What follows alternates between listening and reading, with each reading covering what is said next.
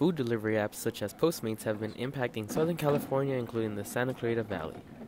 Postmates, as a mobile food service, connects customers with any store or restaurant in minutes. These apps, however, are not always good for mom and pop restaurants in the Santa Clarita Valley. Telly's is a restaurant that has chosen not to use a food delivery app in their business. I think it might be positive for some, but negative for others who are on the lower margin of price point. Like, for instance, us. For us to do Uber Eats, they want 30% of your profit. Well, we're already so cheap, so it, w- it doesn't make sense for us to work with Uber Eats, you know?